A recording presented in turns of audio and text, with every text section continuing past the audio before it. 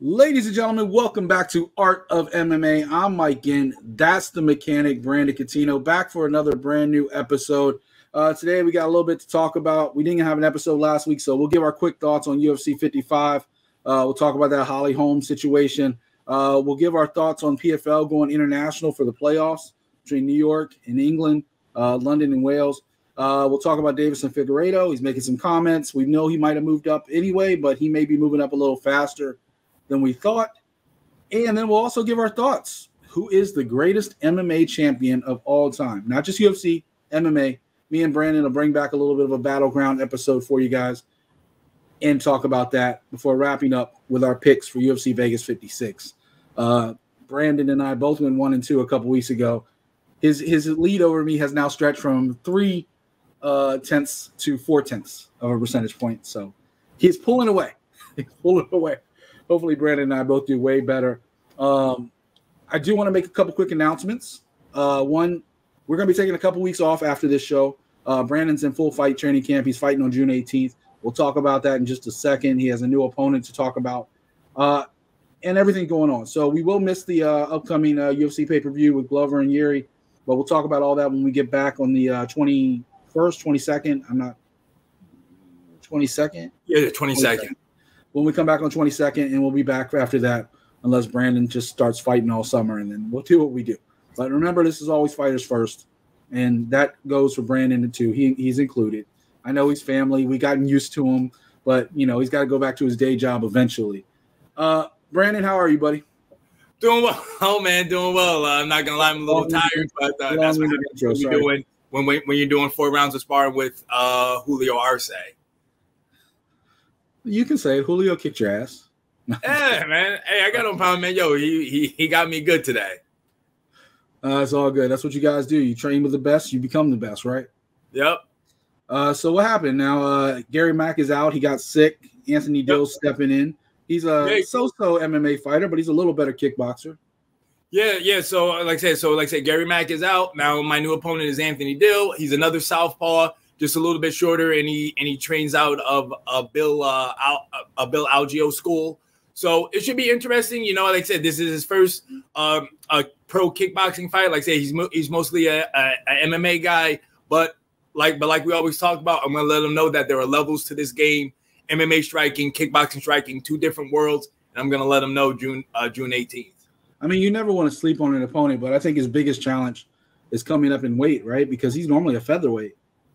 Yeah, yep, yep, yep. Gonna have some size yep, Yep, he usually he usually fights at 145. So this fight, he's gonna be at 155. Like, like I said, my, my original fight with Gary Mack was at 160, but since he's coming up, they want to they want to try to me go as low as low as possible. And which of course 155 is no big deal because usually usually for my kickboxing fights, that's where I fight at anyway. So it's no big deal. The the weight the uh, the weight's coming off nicely still. So I'm good. I'm on point like I said, June 18th is gonna be is gonna is gonna be a show for you guys. Awesome. Looking forward to it. Uh, got quite a few mechanic shirts sold. So go over to fightersfirst.shop. Uh, you get them today, you might get them in fight time for fight time. They usually take about 10 days. So go ahead and order real quick. Hopefully, we get them over for fight time. Already seen a lot of the uh, mechanic shirts sold. I wore one, actually, funny enough, not on this show. I'm actually wearing the uh, Buffalo Allen uh, New Japan Bad News Allen uh, shirt uh, today, but uh, I actually wore a Brandon shirt on Crossing Borders on Monday, so you can go check that out. Uh, of course, he's rocking his kicking his shirt with his buddy Tim, the best looking duo on all the network. You know what's up? I know I got a face for radio. You ain't got to tell me, bro. if I could put like I like I intro today with Yoda.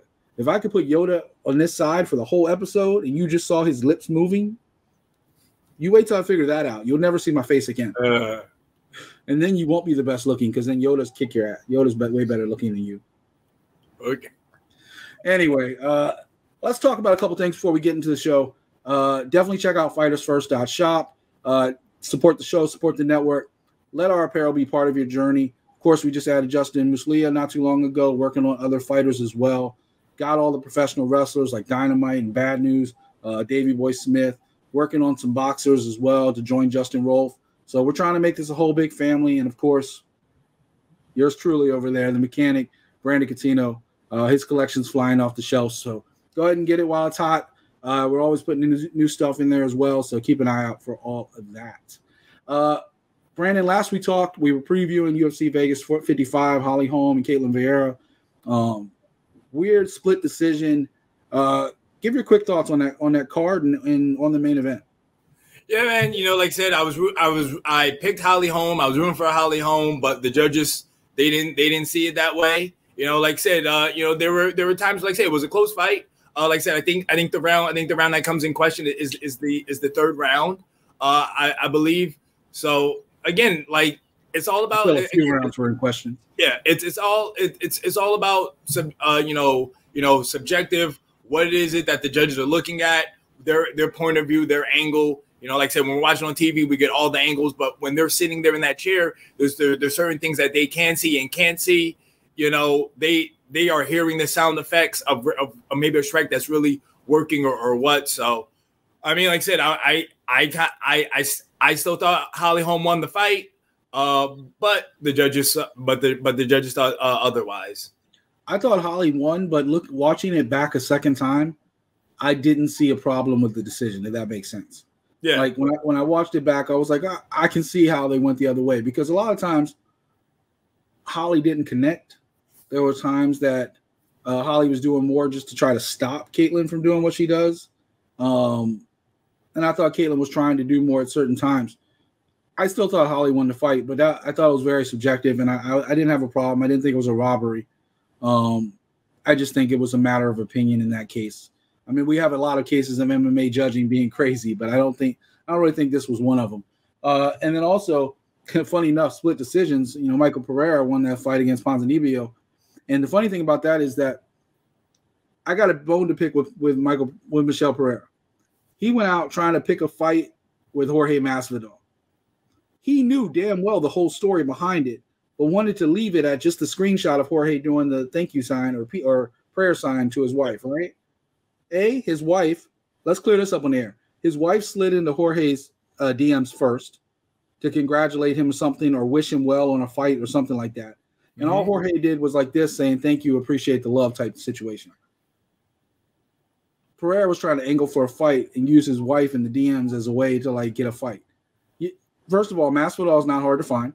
And I mean, well, was plus, plus I was gonna say this all happened before before before he uh before he even knew his wife. That's what that's what she came out and said. That that like like this all happened before before her and uh and uh Pereira had even got together. Well, first of all, Masvidal never followed her. She slid into his DMs and he had mm-hmm. nothing to do with it. All he was basically is saying thank you. Like, yep. you know, appreciate the love, like type shit. And you know, Pereira gonna, gonna try to blow it up. Masvidal's not hard to find for a fight. He's trying to get that fight with Conor right now. That there's all he's always willing to throw down. So I don't think it takes very much. Get a couple more wins. I'm sure Masvidal will know your name. But otherwise, I don't think he gives a damn about you. Um, and also that was a split decision. It wasn't like a really big victory for Pereira. He won. I think he won, in my opinion. I don't know about you, but yeah, no, yeah, no, he came on strong. Like I, like I, I, I would definitely say he probably took the first two rounds, and then the last round is when uh Pon, uh Ponzinibbio came on, and he took that round. And there was a lot of great fights on that card because I mean, you had Njokuani getting that big knockout over Todorovic. Uh, you had Ricky uh, Richie upsetting Viana, in my opinion. I thought that was an upset. Uh, you had Park getting a split decision over your boy uh, Eryk Anders. Uh, bunch of good stuff on there. Uh, Medic actually showed up the one time I didn't pick him. he got the TKO. Uh, and then, unfortunately, Elise Reed. I don't know what's up with her. Like we thought maybe it was the division but then she ran into Sam Hughes and she got knocked out too. So uh, maybe she's just not ready for the UFC. Maybe she needs to go back to CFC for a couple more fights. But you know, it's when you get called up too early. Sometimes you're stuck in that no man's land. Like, where do you go, right, Brandon? Like, yep. you, have already graduated from CFFC into the UFC. If you get demoted, do you go to Invicta? Do you go to CFC? You know, where do you go? Yeah, I mean, I, I mean, I mean, that's what happened with uh, with uh, Angela Hill. You know, she she was on the Ultimate Fighter, got into the UFC. You know, didn't go her way. Then, then she went down to Invicta, got some W's, became the champ there. Then boom, she came back to the UFC and she was on fire. So, you know, yeah, maybe I mean, I think I think Elise Reed personally, I think she needs more experience. I, I just don't think she's ready for this level. Yep. But that's that. Uh, that's our quick thoughts on that. Um, one other thing, real quick. I'm really looking forward to July. They just announced on ABC Brian Ortega versus Yair Rodriguez. That is going to be crazy. I'm looking forward to that. Um, any other things you're looking forward to before we jump into the show? I know there's a I lot mean, of fights being announced. I mean, I was gonna say, uh, I was gonna say that I think that card, I think that card's gonna be is gonna be local for me. So it might be, it might be, might be in the state over. I think that card's gonna be in Long Island, right? Yeah, I think so. That's the rumor. So That's I mean, I don't think they've officially right? announced it yet, but that's a long trip for you though, right? That's like an hour and a half, right? Uh, more than that. Well, it depends on the traffic, but yeah. Yeah, I mean, with traffic, that's like three, four hours. Yeah. Um, so I was like, it might be next to you, but it's not next to you. Yeah. That's like when people say to me, like, oh, there's something down in Miami. Why don't you go check it out? And I'm like, four hours. That's how long it takes me to drive to Miami. Uh, Orlando's like an hour and a half. Like, it's not like right next to me. No. Yeah. It might look close on a map. It may say the same state, but no. anyway, you ready to hop into the show today, Brandon? Yes. Let's get to it. All right. PFL announced last week. Of course, we didn't get to talk about it. They're going to be doing some international traveling for the uh, playoffs. They're going to do a show in New York City. They're going to do a show in London, and they're going to do a show in Wales uh, for all the playoffs. They had Kayla and all the crew over there promoting it. Uh, of course, they're jumping back in action. I believe uh, is it July first? Yep, July first. And they got Kayla versus Julia Budd, which is a fight we thought we might see in the playoffs. But then, of course, Julia lost, even though she still got points because of the whole Fabian weight miss. Yep. But we're going to get to see this in the regular season, so that's going to be a great fight to take place. That's the one challenge we thought. Maybe her, maybe Pacheco, uh, a couple people to challenge uh, Kayla. So that's going to be fun. Uh, what are your thoughts on them going international and doing some of this stuff overseas, and maybe even leading into what they're talking about doing a pay per view schedule next year? Yeah, no, man. Uh, I think it's cool. You know, like say, they're, they're trying to go into into other markets. You know, let's see, let's see how let's see how they do. Like I said, you see you see Bellator do, doing their shows in England, how how they've been killing it. You see you see the UFC doing their shows over in England, they've been killing it. So they're just doing the same thing to me. They're they're trying to get their foot in, uh, you know, and and and uh, and and uh, see what happens. And I'll tell you what, that July first card is going to be your dream. Right? It's like you love the ladies' fights, and they got Pacheco and Genah Fabian. That's going to be a striking battle. So that's going to be right up your alley. That's going to be a fun fight to watch. Uh, we got a lot of the ladies. We got the welterweights on there: Rory MacDonald, Ray Cooper, uh, everybody on there. So it's going to be a, a, fun fight to get them started before they roll into their second, as they roll into their second half uh, down in Atlanta. Um, so that's going to be fun to watch going into the playoffs. Yeah. Um, did anything from the first half of the season really jump out to you? Do you expect like? Who do you really expect to be like? I know it's way too early to be picking, but who do you really expect to be coming out as the champion in some of these divisions? Well, well, like like I said, I mean, the only thing that really that really was a surprise to me was just Ray Cooper, the way how he came out. You know, he missed weight, the way how he looked, and everything like that. So, like I said, you know, nothing came out yet, but like I said, you know, you never know if there was an injury or anything like that. So that really that really was the only thing. Like I said, you know, Rory Rory uh, Rory MacDonald was he was Rory MacDonald again. You know, the Red King came back, did his thing against uh, Brett Cooper. Uh, you know, Anth- you know, you know, Anthony Pettis looked real good. You know, he looked, he looked, looked like the old Anthony Pettis. Uh, so I mean, you know, I think I think I think the only division that I'm not really too sure about is really what's going to happen in in uh, in uh, featherweight. You know, uh, I think I think everybody else is like say like to me, I still feel like saying Anthony Pettis is is, is kind of him him and you know like I, I think he's still like probably the favorite now and like uh Rory MacDonald. You know, since you know since Ray Cooper took he took that step back, but uh but yeah, you know that that really that really was the only thing that kind of threw me off was just you know Ray Cooper missing weight and then just kind of just the way how he looked in this fight. Yeah, Alex talked about on Crossing Borders this week because we were talking about a fighter that missed weight for one of the shows uh, recently last week in uh, Mexico for the Lux show, and he said the same thing. It's usually because of an injury or something they didn't disclose that caused him to get off their schedules. Very rarely is it somebody really just blatantly coming in off weight. There's a, usually a reason because um, everybody's professional. They're trying to, to make weight, you know whether yep. it's Oliveira with the scales being different or or whatever the case is. There's usually a pretty good reason. Most people aren't just blatantly like, I don't care about my weight and I'll come in. Uh, it'll be interesting to see what Paddy Pimblett comes in next time he weighs in. But but until then, um, but I'm excited. I think PFL going overseas is going to be really cool for for the promotion. Uh, yep. They continue to grow. To the like they're trying to do some pay per views next year. Uh, Kayla's already said this is the last year she's doing the tournament. Uh, so next year she's going to be doing big fights, like whether it's cross promotion. I'm sure if Claressa Shields can get a couple wins this year, maybe that's something they might be interested in just for pay per view numbers. I don't think Claressa's on that level, but you know, there's everybody has a puncher's chance, and there's very few female punchers better than Claressa Shields. So there's that. So it should be fun, should be exciting. Uh, PFL continuing to grow before our eyes. You know, I still remember the World Series of Fighting, and, to see where they are now, like I thought they were a legitimate contender back then, and then they kind of just went, yep. thanks to Ali's uh, crap behind the scenes. You know, Donn Davis and all them kind of got involved. I, even Ray Sefo doesn't really know if it's technically still World Series of Fighting and just evolved into PFL, or it's a whole new business. Like when I interviewed him, he was kind of like, eh, I'm not sure, but you know, it's it's definitely evolved into something that's continuing to evolve. And Donn Davis and all these guys have big dreams and big goals to make a really big promotion. So, you yeah, know, you know, Alex, you know, Alex, you know, Alex Rodriguez right there, you know, a new investor for them. Yeah, and and they've thrown a lot of money to keep certain talent like Kayla. They matched her Bellator deal. They brought in Anthony Pettis, Fabricio Werdum last year, Rory MacDonald. Like they're bringing in names, not just you know nobodies. Like these are yep. champions. So it's going to be yeah, you know, your boy Jeremy Stephens. You know, you can't forget him. Your boy Jeremy Who? Stephens. Who? Exactly. That bare, the guy's going to go to bare knuckle. Oh my goodness.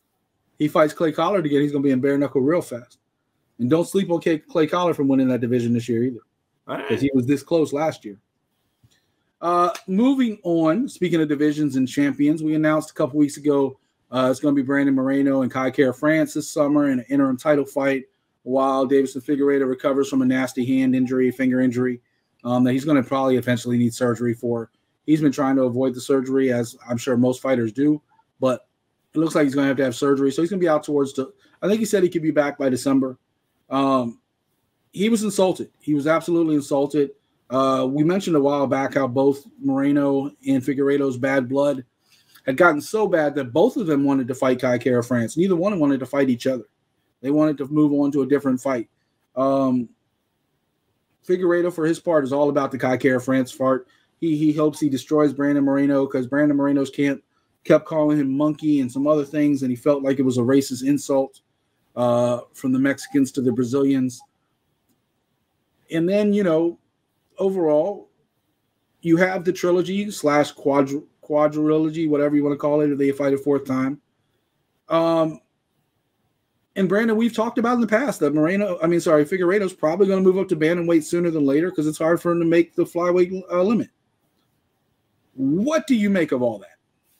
Yeah, man. Like I really thought he was going to move up once he lost the belt to Moreno, but then I think they probably said, "Oh, we'll give you a rematch." So he had another shot at the title, and he won it. So that's why he's still there. Um, like I say, I think I think everybody thought he was going to move up to 135, and I'm pretty sure him probably being a former champion will maybe give him a. I mean, he couldn't. He if he moves up, he maybe could get an instant title shot, you know, against uh, Aljo if possible. Because, like I said, you know, who knows when uh, TJ Dillashaw is coming back? Uh, you know, so he could he could automatically be uh, uh, next to. Yeah, I mean, well, he's got a he's he's he's got to get October. through the uh USADA pool as well. October, he's already in the pool. October. Yeah. So I mean, hey man, it is it is what it is, man. Everybody everybody's talking until something happens. You know, like like you know, like I said, he's still the champ. Uh, you know, he still you know he still gets pay per view points. Still gets he still gets paid like a champion. So until he decides to you know relinquish the belt, you know, he's still a flyweight champion. I mean, for one, I had this whole rant last episode about the interim titles, right? Like, you know how I feel about the interim titles. I think they're bullshit.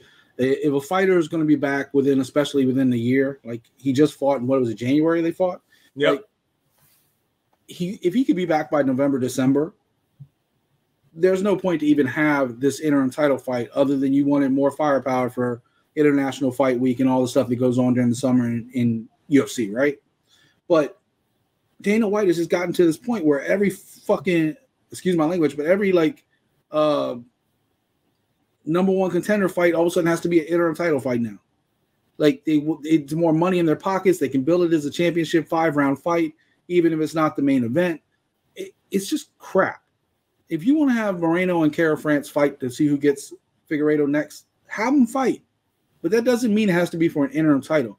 And even Figueiredo said it was just a, it, they're fighting for a plastic belt. It's not the real belt. I got the real belt, and it even though I think, and you know I picked Figueiredo, but even though I think that Moreno won that last fight, just like I don't agree with Aljo having the belt because I think Yan won. The truth is they have the belt. They are the champion. You have to show them the respect because they have the real title belt that they fought and earned on their shoulder. And you just keep throwing these interim titles out there like they mean something. They don't. They're the fans know who the champion is. And if Moreno wins, what's he gonna do? Run around saying he's still the champion. But you're not. You lost to Figueiredo, whether it was fair or not, you lost. And it's it's time to end these interim title belts because first of all, I don't think Figueiredo would do very well at bantamweight. I think he's too slow. I mean, I think he's a powerhouse at, at flyweight, and I think he bullies a lot of the flyweights. Moreno came in, he's he's fast and as strong as Figueiredo, so they gave him fits. I think Figueiredo's a home run hitter, but against some of the bantamweights like Aljo, who can wrap him up like a tarantula, uh, Henry Cejudo could wrestle him to the ground instantly. Dillashaw, who has lightning fast hands. I, I, I Peter Yan, Peter Yan would annihilate Figueiredo because they're the same style, and Yan's just better. Like, it, it, I don't see a good matchup for Figueiredo moving up to bantamweight. That's just me personally. Like, I can't look at anybody. Corey Sandhagen, I think, is too long and strong for Figueiredo. Maybe a Frankie Edgar if he wanted a like a marquee fight. Yeah, I just don't see it. Um, but I do agree with him on the bantamweight issue. Or I'm sorry, on the uh, interim title issue at flyweight. I think it's a joke, and I think sometimes just give the champion a chance to recover. He just fought a five round war against Moreno. Yep, exactly, man. Like that's what that was the whole thing with Aljo. He, you know, they they wanted him to fight, you know, five months after he fought. It was like, you know, give me give me a break. Same thing, same thing with um um Francis Ngannou, you know, it's like get, you know, give these guys some time and he just wanted one more month. Yep. It's just crap. The way it's all about the dollars. We know that. Anyway, uh, decided to bring back a battleground subject a couple weeks or last week, and we didn't get a chance to do it, so we're doing it this week. Uh, Brandon and I did a little bit of a, a show called Battleground last December, uh, a couple episodes to kind of bridge the holiday gap. Had a little bit of fun doing it, just having a debate on a really cool subject. So I decided, Brandon, what better subject to do? We've talked about who's the GOAT a number of times, but the GOAT always hasn't always been a champion. I want to make it very particular. Who is the greatest MMA champion of all time? You can give me your number one. You can give me a, a few name, names if you want, but go ahead and get this conversation started. Who, who's on top of your list as the greatest MMA champion of all time? I mean, there's a lot of there's a lot of people that you can uh, choose from. You know, like saying uh, right now, current, you know, uh, uh Patricio Pitbull and Bellator is a good name. You know, Cris Cyborg uh, is a good champion as well. Uh, but for me, man, the top two people I'm going to go with are GSP and uh, Anderson Silva. Those really, those were the top two people. I think Anderson Silva really still has the most title uh, defenses, or is that Demetrious Johnson? They're like right next to each other. Do you um, think? Do you think that his the way his career ended was like eight straight losses? Like, does that diminish that? No, because you're because you're you're talking about champions. To me, to me, to me, this is when this is when you're a champ, not before you're a champ, not after you're a champ. This is when this is when you had the belt, you defended it. How were you as a champion? So that's why that that's why that's why I still got Anderson Silva up there, and I still got GSP up there. So I agree with you with GSP. Uh, Anderson Silva was always one of my favorites. I do have GSP up there very highly. Um, and even though he is GSP is actually the cover of this segment, um, because when I think of a champion, I think of GSP. Like he's been the cover child for being a champion in the UFC, even though you know he had the thing with Matt Hughes and Matt Serra where he lost and got the belt back. The way he finished his welterweight run with Johnny Hendricks, which was very debatable. Um, but then to come back and win the belt against Michael Bisping at a higher division, uh, as a champion, I don't think there's very few in this business that stand above him. But as I was thinking about this subject, there was a guy who actually stood above him in my mind and I hate to say this, but Jon Jones, Jon Jones as a champion from basically 20 years old in the UFC when he started, and I think he won the belt at 22 or something like that.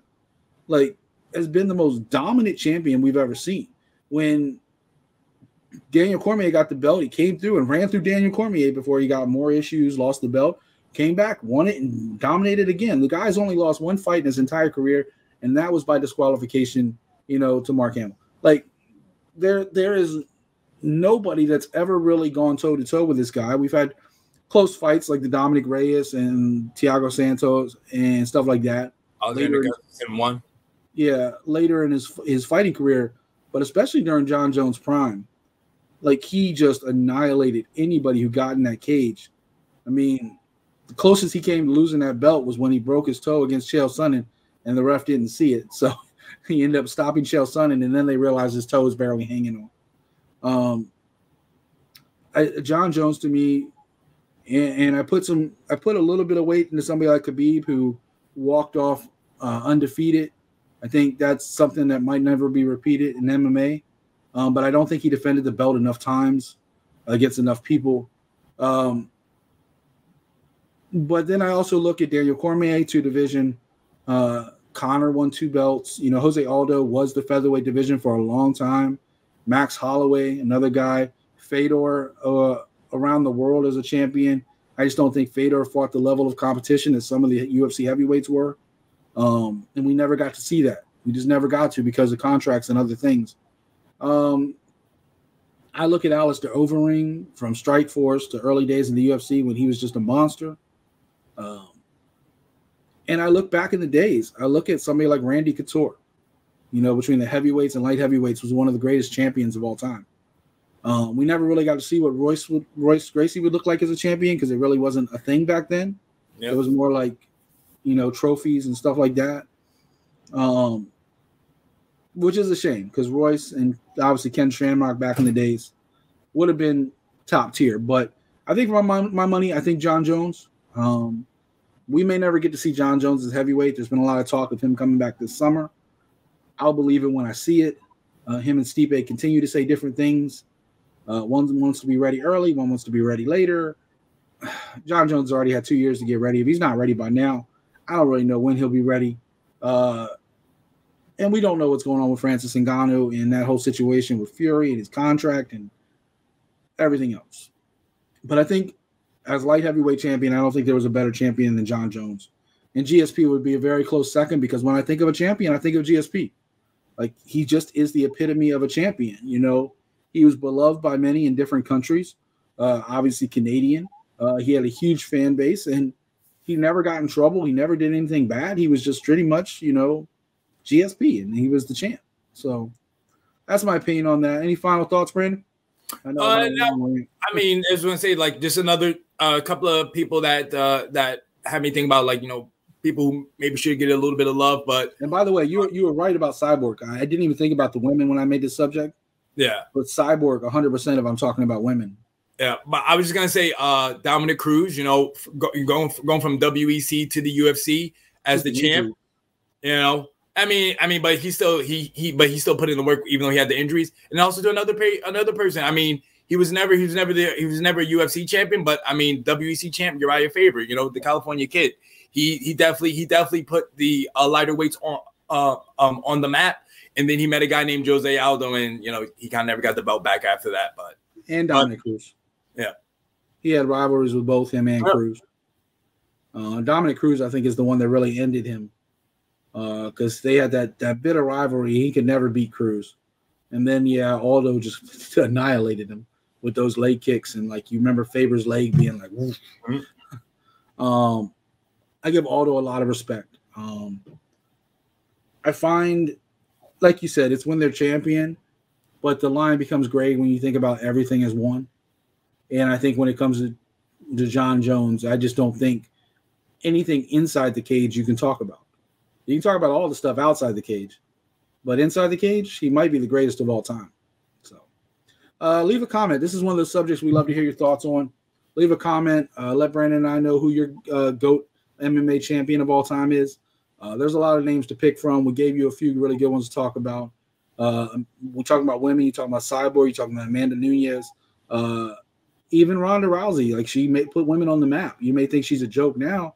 I know Pena and some other people do, but when it came to women's MMA. If it wasn't for her, it wouldn't be a thing in UFC.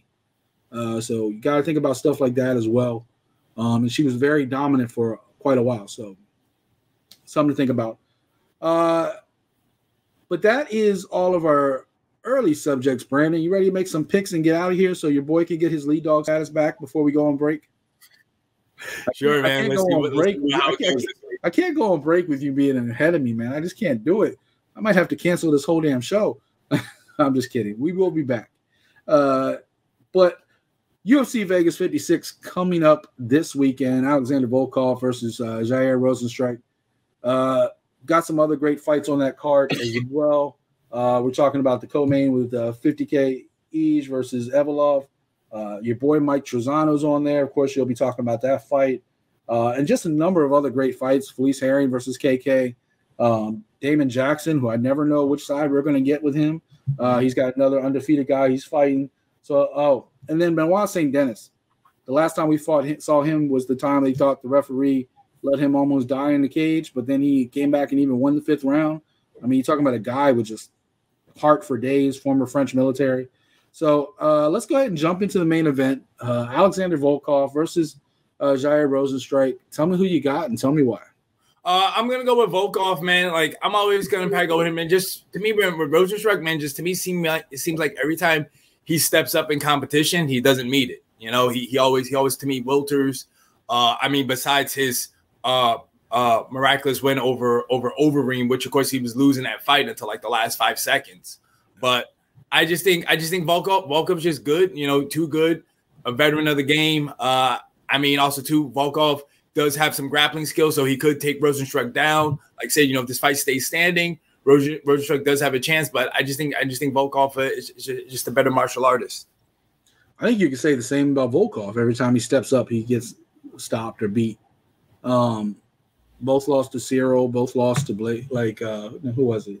Uh, Volkov just lost to Aspinall. Um, this was a tough fight for me to pick. I think I'm taking Rozenstruik only because I think Volkov doesn't really use his wrestling very much unless he has to. And if he gets into a firefight early, Rozenstruik's probably the one heavyweight you don't want to get in a firefight with, just because of his pure like kickboxing skills. Um, uh, it's tough, man. But I think I'm gonna take Rozenstruik, but this is a pick and fight. I wouldn't be surprised to see Volkov win, uh, kind of slow him down and wrestle him for three rounds or five rounds. But I think both guys would be exhausted by the end of this fight anyway. Um, that's why I kind of think Rozenstruik might get the stoppage in the second round or something like that. But we'll see. Volkov doesn't get stopped very often, so um, definitely up in the air. Um, over in the co-main event, we do got uh, Dan 50K Ige versus uh, Movsar Evloev. Uh, who you got in this one? Uh, I'm gonna go with Dan Ige. You know, like I said, I, I, know, I know, I know he wants to bounce back. Uh, you know, from his last performance.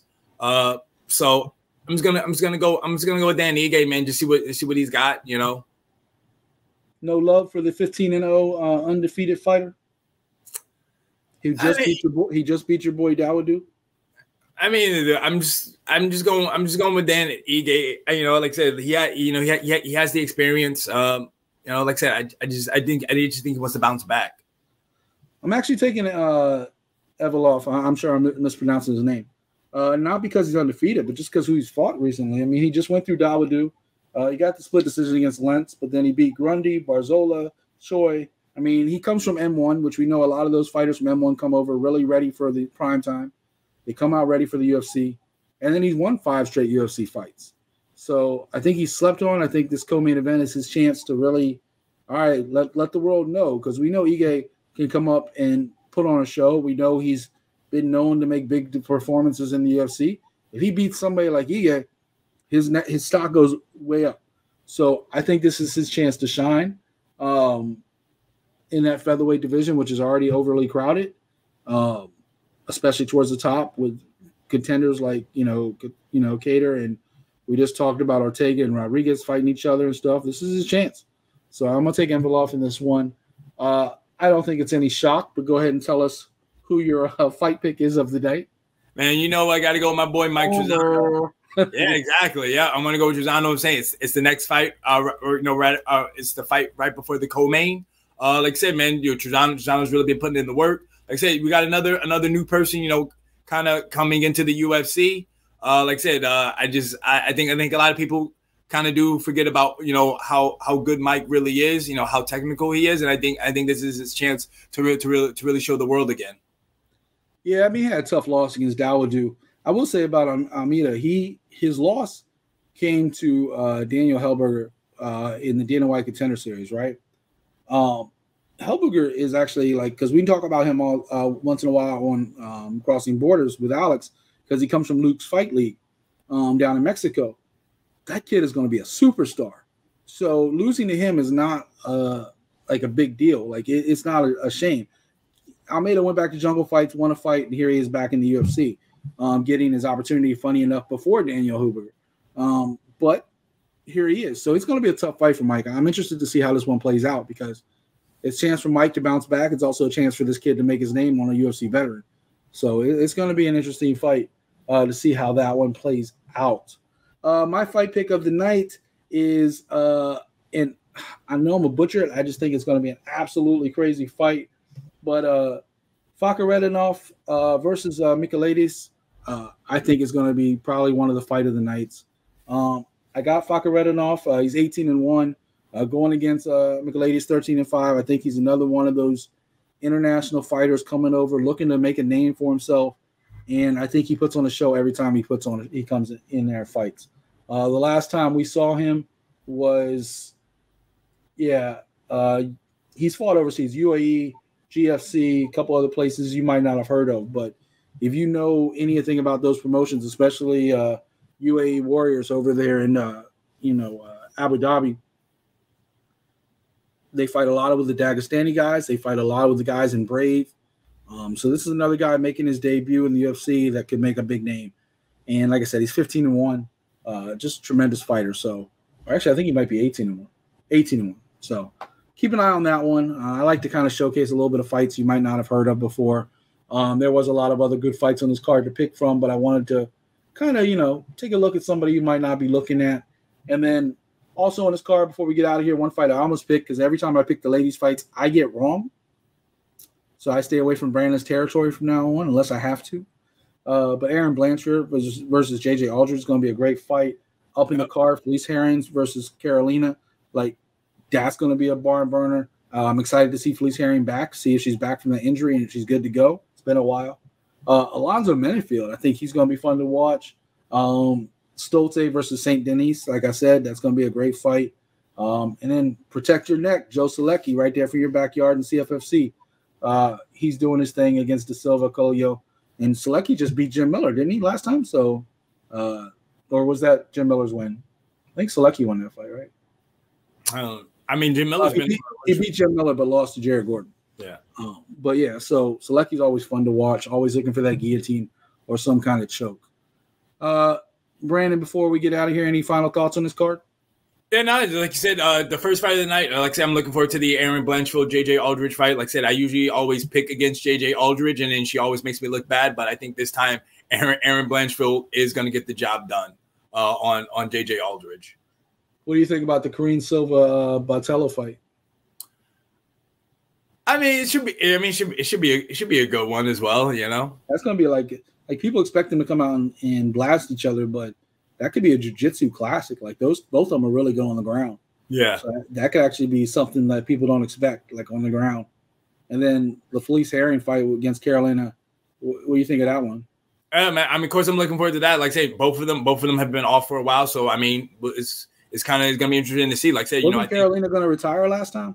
I, I want to say so because I mean, like I said, she, she's been having some bad losses. Like I want to say she said it a couple times in a row. Like she said she was retiring before the last fight, that she came out and she lost again. Yeah. Um, I want to say it was against yeah against Jessica Penne, and then she's like, all right, well I'm really done this time, and now here she is again. She yeah. lost five in a row. So, I mean, but all to top people. Yeah, all former either former or, or future. Penne, former champ in Invicta. Grasso's a contender. Jan's a contender. Waterson's a former uh, Invicta champ. Champion, yep. And then uh, Andrade's a former champ. So not bad losses, but you know, is what it is, right? You can't win. You can't win. So it gets it weighs on your mental sometimes. Uh, well, I think that's enough for us. Uh, we will be back in two in two and a half weeks, three weeks, whatever. Uh, right after Father's Day. Uh, Brandon's fight is June 18th. Make sure you uh, follow him on social media, figure out how to watch. I know Gut Check's going to stream it, I believe, on their website or one of the websites they work with. So Uh, make sure you tune in. Make sure you're rocking your mechanic gear. Go ahead and Fighters First Shop. Get the mechanic gear uh, merch and go ahead and support your boy. Um, I know I'm always the bad guy and everybody loves Brandon, but you know, go ahead. Even I'll be rooting for this guy uh, come June 18th. Um, also, I don't really like Anthony Dill. I just don't like him. No offense, Anthony. I'm sure you're a good dude, but he's already coming on social media talking about how he's going to end you and everything else, even though he's taking his fight on short notice, coming up in weight, and everything else that's against him. And no disrespect, because anybody can win. I mean, I love you to death, Brandon, but any anybody can win. I know you I know you're taking it seriously. I know you're not underestimating this guy at all. Um, but I think he should have a little bit more humility coming up. And then I don't really root for any. I don't know. It's always weird when I see somebody with a face tattoo, unless you're Mike Tyson. Yeah, I was gonna say he looks like Stitch, just a rapper, you know. so it's Kashi six nine going over. Yeah. All right. Well, that is that. Uh, I definitely wish you well, my friend. If I don't talk to you before the show, I, am sure I'll talk to you online and stuff like that before uh, the 18th. But I definitely wish you well. Uh, everybody, leave a comment, a like. Uh, let us know what you love, what you don't like. Maybe we can come up with some new segments when we come back. We got a few weeks to kind of work on things for the second half of the year. Um, and go ahead and root for your boy. Root for everybody that I pick and nobody that he picks, so I can get my throne back. It's hurting me. My soul is hurting. Yeah. I got to use some Jedi mind tricks. That's why I was Yoda today. Your mind. And maybe I watched a little bit of Wu Tang uh, American Saga too much. But whatever. Anyway, any final words, Brandon? All right, guys, just remember like, subscribe, comment, you know, share the video, man. Let the people know about the show. All right. For the Mechanic Brandon Cuttino, I'm Mike Ginn. This is Art of MMA. We'll see you soon. We're out.